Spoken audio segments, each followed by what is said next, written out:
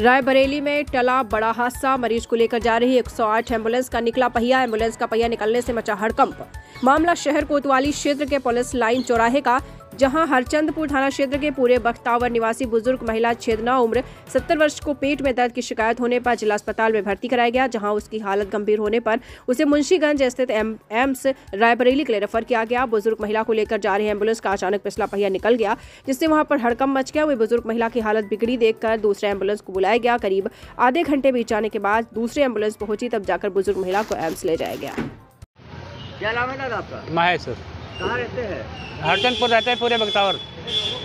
क्या हुआ था? ए- इनके पेट में दिक्कत हो गई रेफर किया एम्स के लिए करा रहा है जिला अस्पताल में भर्ती रहे। है माता जी उसके बाद क्या हुआ? अब ये पहिए निकल गए सर। उसके बाद खट खट हुआ पता नहीं हो गई है।